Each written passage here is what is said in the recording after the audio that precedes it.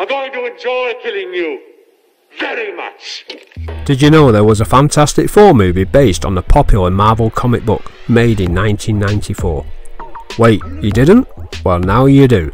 Today on Groovy Movies, we're going to check out some fantastic facts about the unreleased controversial movie, It's Fantastico.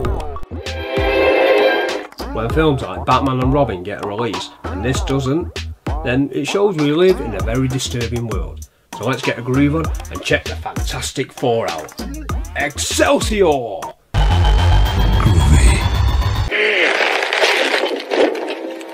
That's for trying to kill my friends.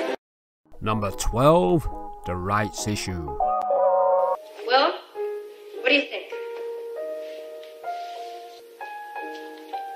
You look like a dork. Let's start right at the beginning. Way back in 1986, the German producer Bernd Eichinger, who ran Constantin Films, and regardless of what you may think of him after watching this episode, he's produced four Resident Evil movies, the two Fantastic Four movies from 2005 and 2007, but more importantly, directed The Never Ending Story, which he did actually end.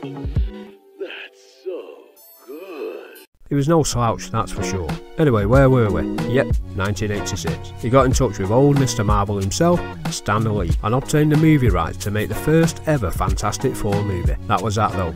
The company sat on the rights like an elephant on the grass until they found the rights were going to expire in December 1992. We are the Fantastic Four, remember? If a movie started shooting before the deadline of December the 1st, 1992, he would get to keep the rights for another 10 years, which would eventually give him the chance to maybe make a bigger budgeted Fantastic Four, which he did, of course, in 2005. It was now September 1992. What happened next was truly bizarre and fantastic. Number 11 Roger Corman. I think everyone should check out a Roger Corman production at least once in their life, for they are truly missing out otherwise. If they gave out Oscars for big balls movie making and getting low budget movies made using exceptional ingenuity and craziness, then he would have won it many times over. Roger Corman has been responsible one way or another for such classics as Vincent Price starring For the House of Usher, No Not the Pop Star in 1959, The Man with the X-Ray Eyes 1963, and one of my favourites, Humanoids from the Deep in 1980, which I've covered in another video should you want to dive into it. They don't understand like we understand. Eichinger knew Roger Corman was a master at getting movies made quickly on a cheap budget, so he went ahead and asked Corman to produce a movie on a $1 million budget, which wouldn't buy a set of shoelaces on a Marvel movie nowadays. We make our films for a fraction of the cost of major studios. Roger Corman producing a movie that would require extensive special effects to make a man made out of rock smash things and a stretchy rubbery man stretch everywhere. Nope, not Mr. Bean. This movie was surely not going to be quite fantastic. Number 10 Lloyd Kaufman. Lloyd Kaufman, the independent movie making genius that started Troma Studios, responsible for the type of movies you never knew you wanted, such as Class of Nuke 'Em High, Sergeant Kabuki Man, and of course many people's favourite covered in toxic shit Avenger hero, Toxic Avenger. Bring the kid. He was initially asked to produce the Fantastic Four movie, but turned it down because he was a lifelong friend of Stan Lee, and Stan Lee was hoping a big studio would get hold of Fantastic Four and make a fantastic movie. So Kaufman said no out of loyalty to Stan Lee. Imagine that though, if Kaufman was involved, who knows in the future we may have had Toxic Avenger lining up alongside Hulk and Captain America. How cool would that have been? It's brilliant. Number 9. The casting. The cast assembled, to be fair, invest a lot into their roles. They totally believed in the movie and were so gutted when they found out it wasn't being released. With the movie having to be shot very quickly, the cast had to be found faster than a speeding human torch. Unbelievably, the cast were found in just over a week after an intensive audition process. Casting began in November 1983 and the film began shooting in December 1983.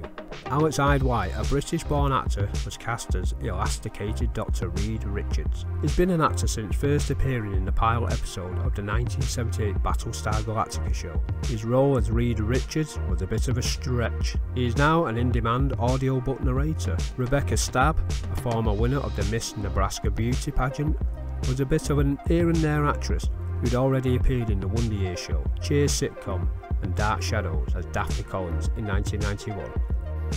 Behind you. She was cast as the Invisible Girl Susan Storm, which may be appropriate because just like the Invisible comic book character, nobody could see her in the movie afterwards. Now Jay Underwood was one of those actors who you'd see and think, I've seen him somewhere before. He was cast as Johnny Storm, the fiery flyboy, without even knowing who the Fantastic Four were at the time, although he along with the rest of the cast immersed themselves in the comic books. Because of the limited budget, he rarely got to flame on in the movie. Jay Underwood, who starred in The Boy Who Could Fly and Uncle Buck, gave up acting years back to become a pastor. If the Hulk were made out of rock, then this is what it'd be like. Now, two people were cast as Ben Grimm, there's a surname and half, who would transform into a walking, talking rock man. Primarily a stunt performer on such movies as Beverly Hills Cop 3, Mission Impossible 3. Carl Ciarfalio, it seems, was destined to be in comic book movies as he'd also performed in Daredevil 2012 and The Amazing Spider-Man 2012. Michael Bailey Smith played the human side of the Ben Grimm character. After he got the role, he was a little pissed because he thought he'd also played the Thing, but found out Carl Ciarfalio, the actor come stuntman, was playing that role. Bailey Smith has been in a lot of shows, like X-Files, Buffy the Vampire Slayer, Chuck, and Wings, one of my favourite shows that nobody seems to remember. He also played another monster, Pluto, in the Hills Have Eyes remake. Wait, one of the Fantastic Four was a mutant inbred? Joseph Culp got the star turn playing Doctor Doom part in the movie. Who is to Fantastic Four what Joker is to Batman? Lex Luthor to Superman, Doc Ock to Spider-Man, you get the drift. He certainly looked the part and thought it's going to be the role that pushes his acting career into the stratosphere. But as we know that couldn't happen. Although he's appeared in many movies and shows, he's most known for portraying Don Draper's dad Archie Whitman in the hugely successful Mad Men TV series. No, no, no, no, no! I have not even started. Another actor actually auditioned for the role of Doctor Doom, but he obviously never got it. It was none other than Mark Ruffalo. It may have been a blessing in disguise. He would go on later to play Bruce Banner the Hulk in the Marvel Studios movie Fantastic Clobbering Time. Number 8 Budget Issues The budget was a miserable $1.5 million. That was not going to cut the mustard when it came to the special effects. To make a comparison, take a look at the He-Man movie in 1987. That cost $22 million. The 1989 Punisher movie starring Dolph Lundgren. Hey, Dolph just loves these type of movies, doesn't he? Well, that cost $9 million. And they didn't have to showcase a man turning into flames or a man stretching his way around the screen. Director Jorge Sassone, who had directed music videos before taking on the Fantastic Four project, knew he had a problem when he saw the budget. New Horizon Pictures, who were set to release the movie, wanted it shot quickly to save money. It was shot in a staggeringly short 25 days. Sassone knew he did not have enough money for extensive special effects. A fair bit was spent on the Thing costume, so Jorge Sassone gathered the actors to his house to let them know the budget was utter dog crap, but to pull together and make it the damn best movie they can make it. Hell yeah! You may call me Doctor Doom. The movie composers David and Eric Wurst actually paid out $6,000 out of their own money to hire an orchestra. They thought it was worth the risk because if the movie became a smash hit, it would do wonders for their credibility. The actors under the Thing and Doctor Doom costume would sometimes find their lines have come out muffled due to the costumes. No problem, as with most movies, they sometimes have the actors record the line and it is then dubbed over the scenes. But because of time and budget issues, the muffled scenes were left as they are. Take my advice. Keep your cool.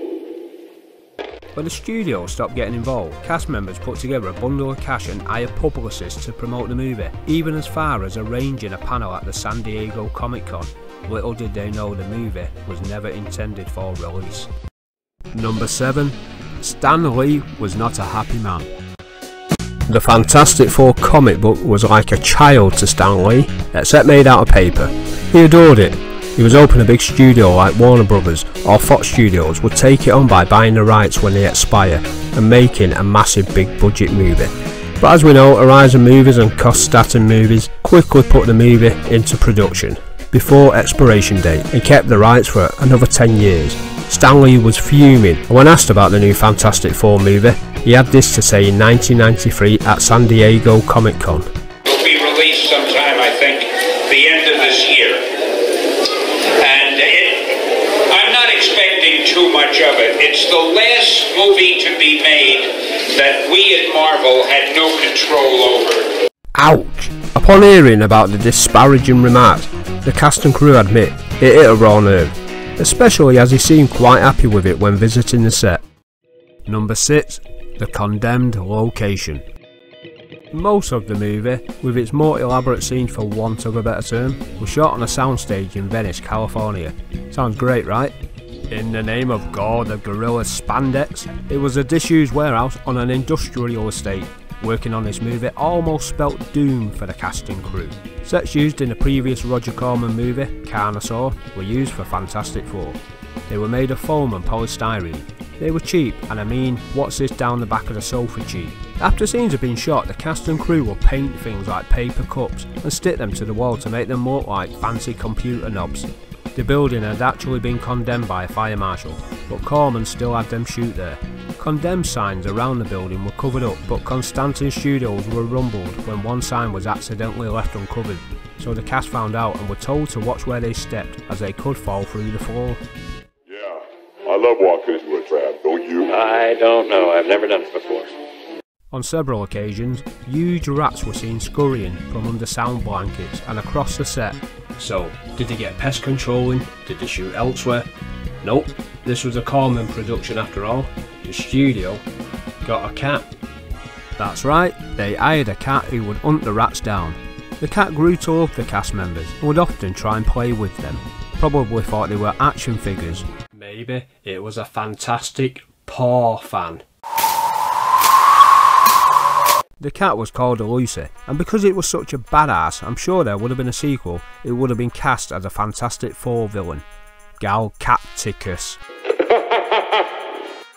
Number 5. The not so fantastic special effects.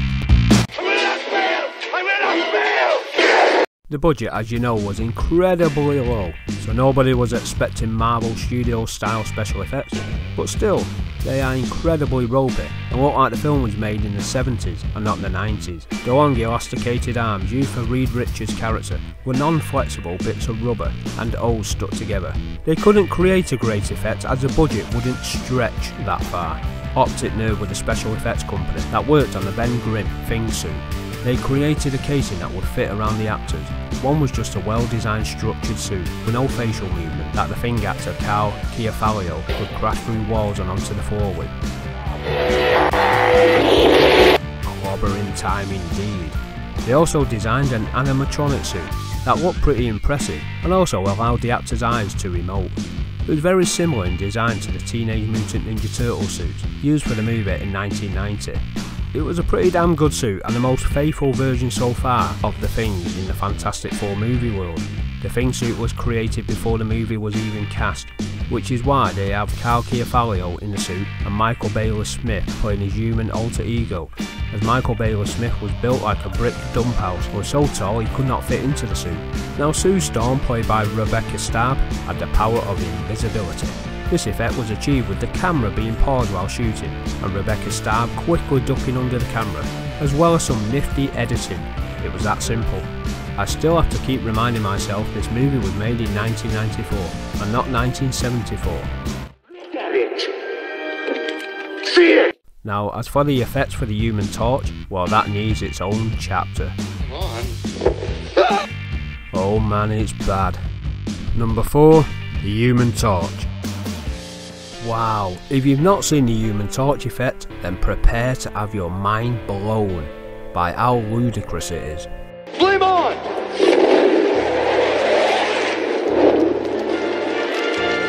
It does have a rather mysterious story behind it. The studio stopped investing in the movie.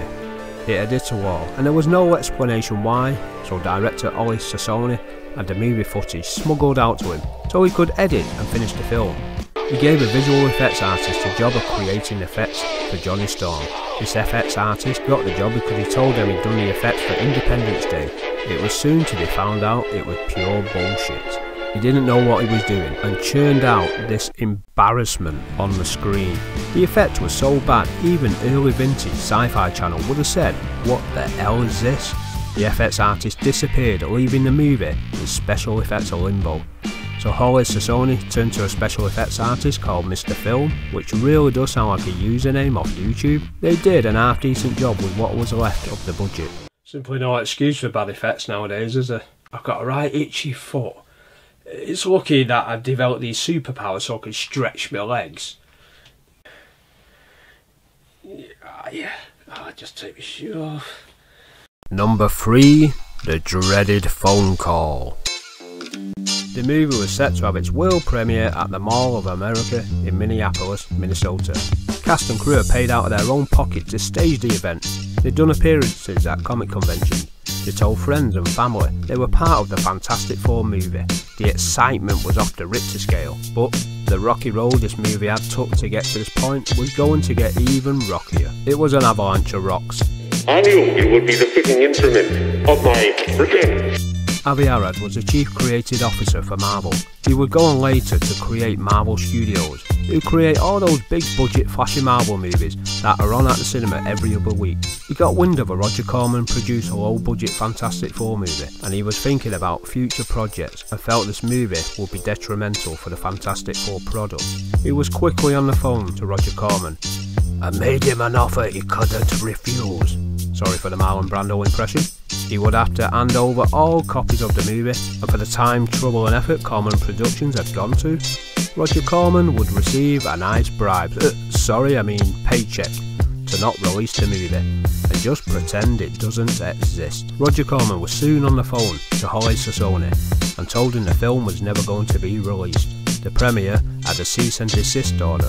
Oley Sassone was devastated, not just for himself, but for the cast and crew who had put their heart into it. He let them know. They were stunned. It would soon come to light why the movie was dubbed. Number 2 The Bootleg.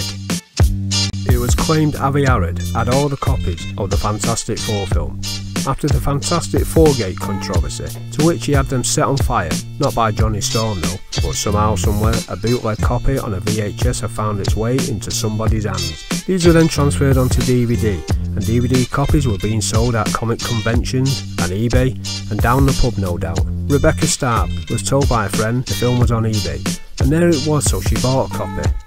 Carl Ciarfalio was at a comic convention, browsing around when he did a double take and saw a bootleg copy for sale for $10. He told the seller he was amazed the film had somehow escaped into the real world and that he actually starred in it playing the thing. He now had the DVD in his hand and was still charged $10 for it.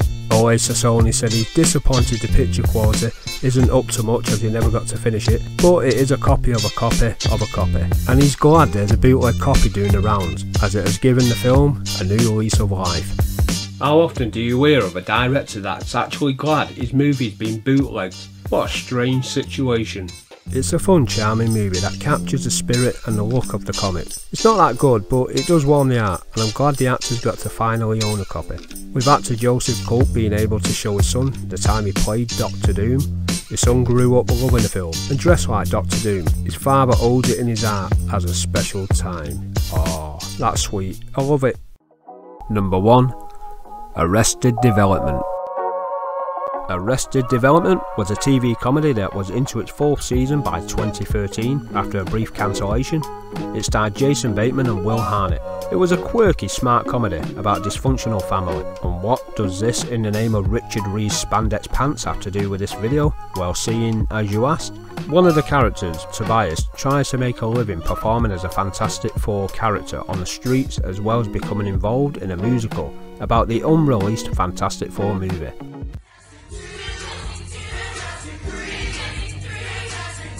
Hey, that's pretty damn good for a movie nobody was supposed to see. It has, over the years, gained cult status, and it's nice to see the film being appreciated. It's subscribing time. Intrigue, lies, deception, marvel, danger, it's had it all. I'm glad this movie got a release. An unofficial one, but a release all the same. At one point, it looked like Charles Manson had more chance of being released in this movie. What did you think of the movie? What did you think of this video?